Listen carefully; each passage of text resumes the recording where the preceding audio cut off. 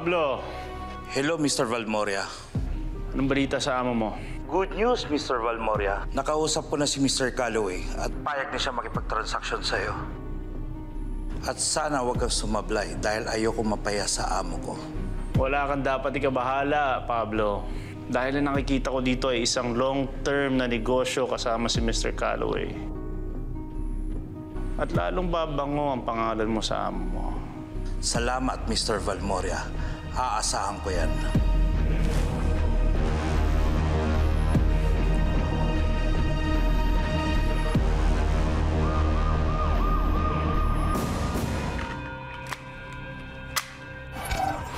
Salamat sa iyo, Lito. Dahil siguradong sigurado na ang pag-angat ng Black Ops. Pagkatapos ng operasyong to, babalik na sa mapa ang magandang reputasyon ng Black Ops bilang isang elite unit. At kapag nakamit na namin ang sapat na lakas, ikaw naman ang isusunod naming itumba. Magsasama kayo sa impyerno ni Cardo Dalisay. Sa wakas, madam, matutuloy na rin ang transaksyon natin kay Mr. Calloway. Ang kailangan lang natin ngayon ay makuha ang kota sa deadline na hinihingi nila. Yan ang susunod na pag-uusapan namin ni Don Ignacio. Kailangan mapabilis na ang pagpapatayo ng drug lab na yan. Sa lalong madaling panahon, madam. Tuloy-tuloy na ang pagdating ng swerte natin dito. Hindi ako naniniwala sa swerte, madam. Dahil lahat ng meron ako, pinaghirapan ko talaga. Tama ka, Lito. Pero wala namang mawawala kung maniniwala ka paminsan-minsan. Babalik na ako sa palasyo, Lito. Baka mamaya isipin pa ng dalawang ugok na yon na naduwag ako sa kanila. Balitaan mo na lang ako kung successful ang misyon ng Black Ops. Opo, madam. Salamat nga pala sa pagtulong mo sa akin sa paglilinis ng pangalan ko. Pero hindi pa rin dapat madiskaril ang mga importanteng bagay. Ano ibig mo sabihin? Kailangan pa rin nating magpursige para mahanap si Nacardo Dalisay at ang mga agila. Tama ka naman dyan. Hindi ko nakakalimutan yan. Eh, hindi ba't kaya nga ako umanib sa iyo? Ang ehekutibong kalihim, kumampi sa tunay na may kapangyarihan. At huwag mong kalilimutan, Arturo, na magagamit natin ang lahat ng resources ng gobyerno para hanapin si Cardo Dalisay at ang mga agila. At last, may paghihiganti ko na rin ang anak ko si Clarice. At masisingil ko na si Cardo Dalisay sa kanyang pagpatay kay Jacob. Sige na, Arturo, mahaba pang araw. Gagamitin ko ang mga oras para sa pag-coordinate ng pagtubis kay Cardo Dalisay. Ako man, kakausapin ko rin yung mga tao ko. Ah, Renato, siya nga pala. Eh, paano kung ako ang unang makakita kay Cardo Delisay? Hindi mo ko mapipigilan, papatayin ko yung hayop na yun. Okay, ganito na lang ha. Pag ikaw ang unang nakakita kay Cardo Dalisay, abisuhan mo ako. Pag ako ang unang nakakita, abisuhan kita. Total, masaya namang tingnan na pinagtutulungan si Cardo Dalisay ng kanyang mga kalaban, hindi ba? Usapang lalaki yan, ha? Kapag ikaw ang unang nakakita kay Cardo, huwag mong papatayin hanggang wala ako. Tatawagan mo ako at hintayin mong nandun ako sa tabi mo bago mo patayin ang demonyong yun. That's a deal, Arthur. Sure. I'll go ahead.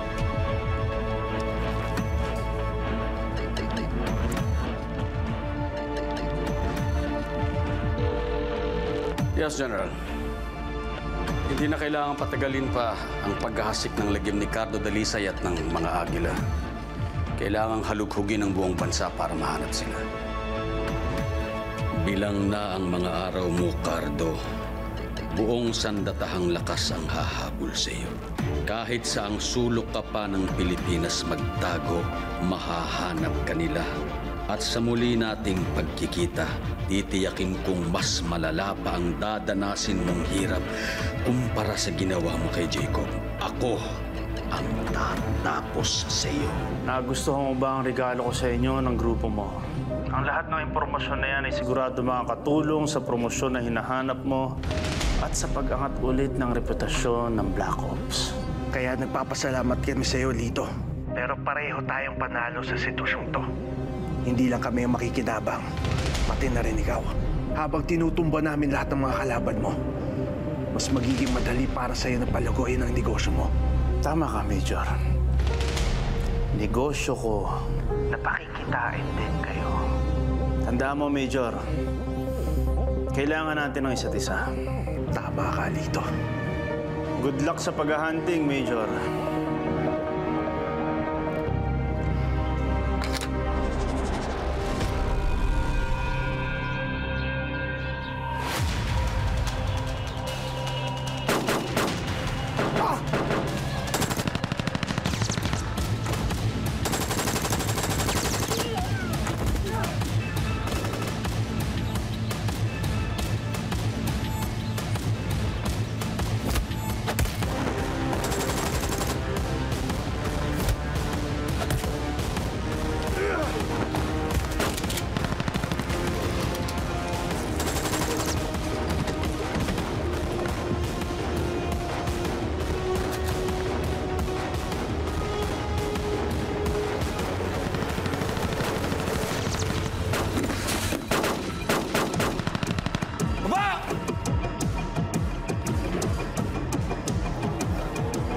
mga hindi kailangan. Hindi dapat mawala sa kagustuhan natin ipagigante ang ating mga kasamaan at mahal sa buhay. Don Ignacio, paano natin matatagpuan ang mga taong nag-ambush sa inyo eh mukhang masyadong organisado sila. Ang husay nilang magtago. Hanggang ngayon di natin alam kung nasaan sila. Pero nautakan pa rin natin sila, Lucia. Kamatayan kay Don Ignacio! Kung meron kayong kilala na may koneksyon kay Guillermo Ignacio, pagpapatay niyo lahat! Huwag kayong magtira na kahit isa. Ipapaalam natin sa matandang yon na siya na ang susunod sa kanila. Now, Talia, hanapin mo sila kaagad. Dahil may bantang masira ang lahat ng aking plano at mga kilos sa bawat oras na malayang nakakalakad ang mga hayop na yan. Hindi pwedeng guguluhin nila ako dito sa loob ng aking sariling teritoryo. Lalo na, meron kaming negosyong ipapasok dito ng first lady. Timo, magsama ka ng mga kasama natin para ipagpatuloy pagmamanuman sa Mansyon Ignacio. Susunod, Armando. Paano ka nakakasiguro na magpapakita sa atin si Ignacio? Dahil mayabang ang matandang yon. Hindi siya papayag na mag-aasik tayo ng gulo at patayin ang mga alagad niya sa kanyang sariling teritoryo. At kapag nangyari yon, siya naman ang pipitagin natin.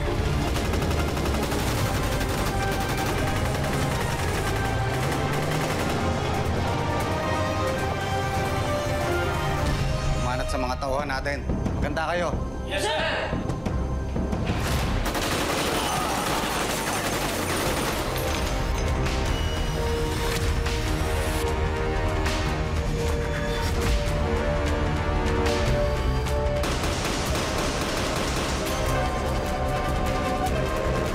Don Ignacio, nasaan na po kayo? Pabalik na ako sa norte. May problema ba? May umatake po sa mga tauhan natin. Hindi namin alam kung sino may gawa nun. Ano? Sinusubukan talaga nila ang aking pasensya. Ihanda mo ang lahat ng ating mga tauhan. Kung gusto nila ng gyera, impyerno ang ibibigay ko sa kanila.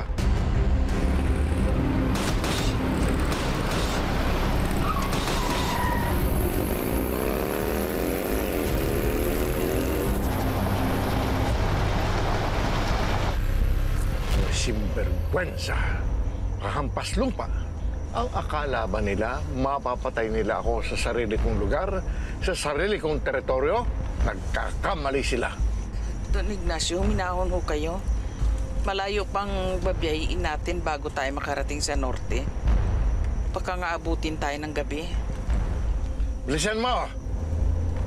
Gusto kong makarating agad sa norte at harapin ng aking mga kalaban ng mga tarantadong nagtangka sa aking buhay. Haharapin muna nila ang buong norte bago sila makarating sa akin. Don Ignacio, pinapunta ko na po lahat ng tauhan natin sa mansyon nyo para mapalakas po ang security natin. That is not enough. Gusto kong maramdaman nila ang bigat ng pwersa na dudurog sa kanila.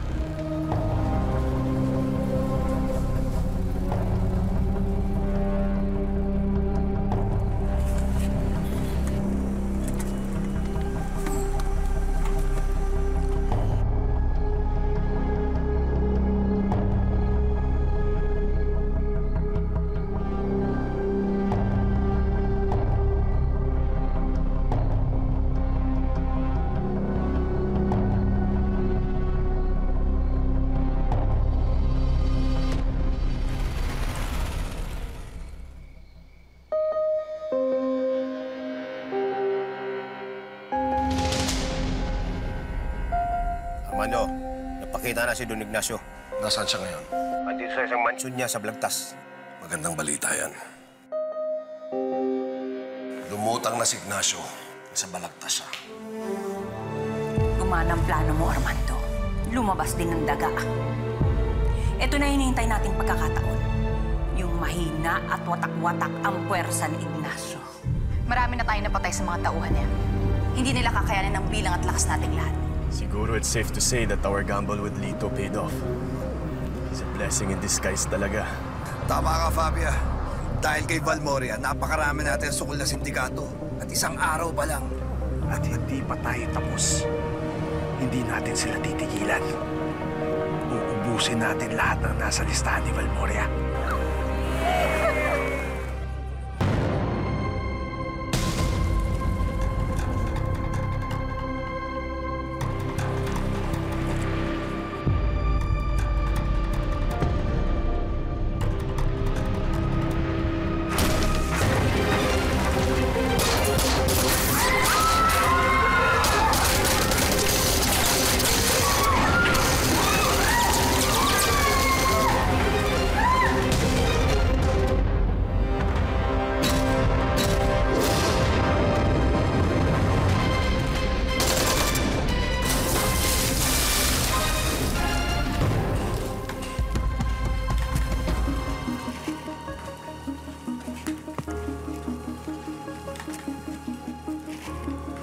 Got to say, Major, I think we broke the record for the most number of successful operations in one day sa lahat ng police units.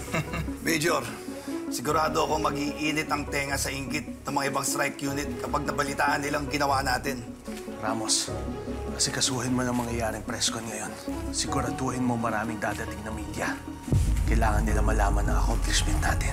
Yes, Major.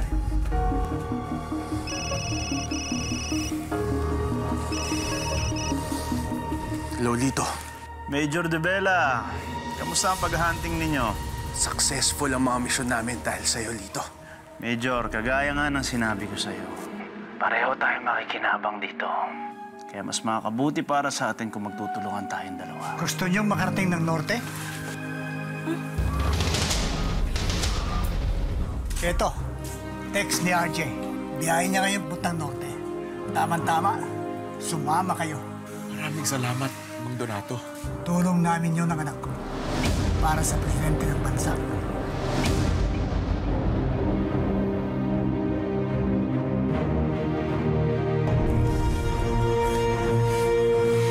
Nung una, akala ko kamukha mo lang ang presidente. Hindi ko lang mawari kung bakit kayo napunta sa ganitong sitwasyon.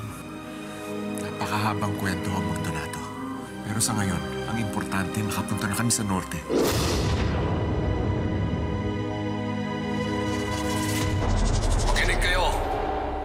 Ito na ang araw na hatulan natin si Don Ignacio.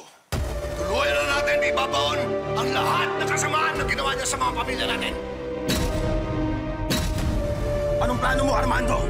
Paano natin bibitahin si Ignacio? Hindi na tayo magtatago pa. Haharapin natin siya. Lulusobin natin ang mansyon niya!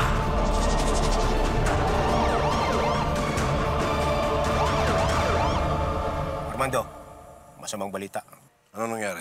Bukod sa maraming tauhan si Don Ignacio, may dumating pang mga pulis para magbantay. Delikado. Baka hindi natin kayanin. Tay, bakit may problema ba? Napadagdag na mga tauhan si Don Ignacio. Alam nila na lulusob tayo. Buo ang pwersa nila. Handa sila sa gera. Hindi na natin pwedeng ipagpaliban to, Armando. Kailangan mamatay na agad yung matandang yan. Don Ignacio, nandito na po pala ang mga pulis na pinadala ni Mayor. Mabuti naman at may paglalang siya. Tingnan lang natin kung ano ang tapang ng mga hayop na yan. Hindi tayo dapat matakot. Baka nakakalimutan ninyo ang lakas ng isa natin, katumbas ng sampu nila. Tama si Mara. Hubog sa karanasan ng mga kasamahan natin. Paghihiganti ang laman ng puso ng bawat isa sa atin. Pera lang ang habol ng mga gwardya ni Ignacio. Wala silang pinaglalaban. Hindi ba nila alam na hindi pa pinapanganak ang taong papatay sa akin? Huwag na huwag niyong kakalimutan. Papatayin natin sila isa-isa. Makarating lang tayo kay Don Ignacio. Ako si Police Major Albert De Vela. At sa ngalan ng Police Intelligence Group Black Ops Unit, gusto kong iharap sa inyo ang mga nadakip naming leader ng mga drug syndicate dito sa bansa. Sila ang mga kriminal na nagpapahirap sa buhay ng ating mga taong bayan. Sila ang mga salot na sumisira sa buhay ng ating kabataan at ng mga kababayan na lululong sa droga. This major accomplishment proves the honor and the excellence of the Black Ops Unit as the most elite group in the entire police force. We shall continue to enforce the law, maintain peace and order, and to protect and to serve our fellow men. Diretso mo sa headquarters ng Black Ops. ha? Sa sunod-sunod na pag-raid nyo sa kuta ng mga drug syndicate, does this mean na magko-concentrate na kayo sa pagsugpo ng droga sa bansa at bibitawan nyo na ang paghabol sa mga kriminal na katulad nila Cardo Dalisay? I assure you, hindi pa rin kami tumitigas sa paghahanap namin kay Cardo Dalisay. He is still our top priority. Simula pa lang to ng pagwasak ng Black Ops organized crime ng bansa. Yun lang po at maraming salamat. Executive Secretary Padua. Major De Vela? Um, Secretary Padua, any comments about sa recent accomplishments ng Black Ops? Well, I came here to congratulate the Black Ops unit, headed, of course, by Major De Vela. They're uh, exemplary police officers and conscientious about their work. At uh, nagpapasalamat kami sa kanila ni Secretary Renato Hipolito for a job well done. Thank you, Mr. Secretary. It's an honor to have you here today. Well, you deserve it. Naniniwala ako na hindi isang aksidente itong pagtatagpo natin. Isa tong ambag sa kapayapaan at kaligtasan ng bansa. Tay, ako na bahala sa kanila. Tara ho, sumakay na ho kayo. Malayo pa ho biyahe natin. Iingat ka sa pagmamaniho, ha? Bahala, tay. Po tayo. Maraming salamat po.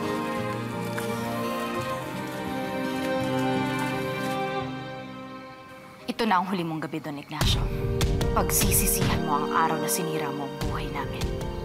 Wala kaming ititira sa mga tauhan mo o sa mga kadugo mo.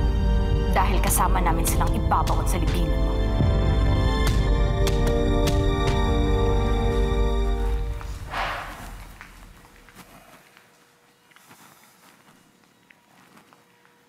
Armando, may agam-agam ka pa ba para bukas? Wala, Lolita.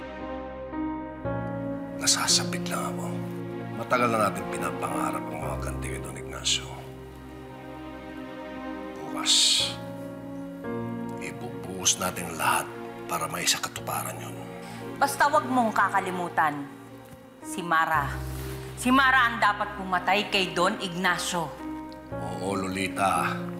Sisiguraduhin ko na ang bala papasok sa utak ni Don Ignacio ay manggagaling sa baril ni Mara. Si Mara ang huling tao makikita ni Don Ignacio. Kapag nangyari yun, mapupuo na ang pag-iiganti natin kay Don Ignacio. Mara. Okay ka lang. Ba't di ka pa nagpapahinga? Hindi lang ako makatulog. Bukas sa bukas, magbubunga ng ilang taong pagsasanay mo. Oo nga eh. Ito na yung matagal kong pinapangarap. Mara, mag-iingat kaya ko ang sarili ko. Mara, iba ang laban natin bukas. Nandito ang pangkaraniwang misyon natin. Marami magbabantay kay Guillermo, kaya sigurado kung magiging matugo ang pagsugod natin. Alam ko. Mara, kung ito na ang huling pagkakataon natin. Gusto ko lang malaman mo. Lucas, pwede ba? Huwag kang magsasalita ng ganyan. Walang masamang mangyayari sa'yo at lang lalo na kanila nanay at tatay. Dahil hindi ko haya mangyari yun. Pagkatapos ng lahat ng to, babalik na tayo sa tahimik nating buhay. Pinapangako ko yun. Anong nangyari? Huwag ko kayo magalala. Jijingle ako saglit. Pero malapit na ho tayo sa norte. Yeah. Oo, abo, saan ka pupunta? Jingle din po. Parang hindi niyo naman ako kilala. Bilis-bilisan mo, baka mamaya may nakasunod sa atin dito. Ano ho?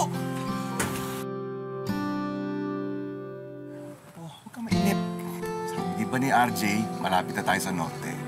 Eh, ang problema po kasi itong dalawang to kung bakit kung kailan malapit na tayo makarating ng norte tsaka sila sinumpungan ng tag-ihi. Kinakabahan ako eh. Kalma ka lang, Elizabeth. Hindi tayo pababayaan ng Diyos.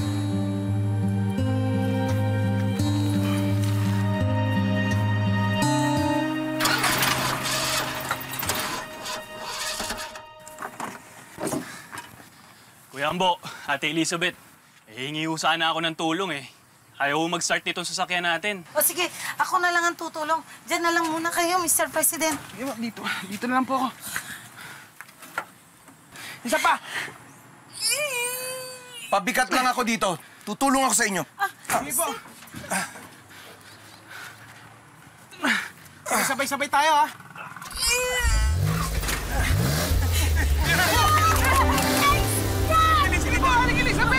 Elizabeth! Ganda po